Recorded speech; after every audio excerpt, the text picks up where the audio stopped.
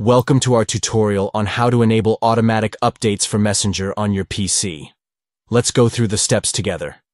Begin by opening the Microsoft Store app on your computer. To do this, click on the Start menu and search for Microsoft Store. Next, navigate to the Account menu within the Microsoft Store app.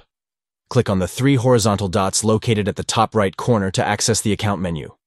In the Account menu, select Settings from the options provided. It should be the second option listed in the menu. Once you are in the Settings section, locate the option to enable automatic app updates. Find the setting labeled Update Apps Automatically and ensure that it is turned on.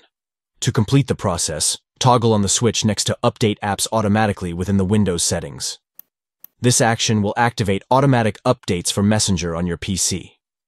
By following these steps, you can ensure that Messenger receives automatic updates on your computer keeping you connected with the latest features and improvements. Thank you for watching our tutorial.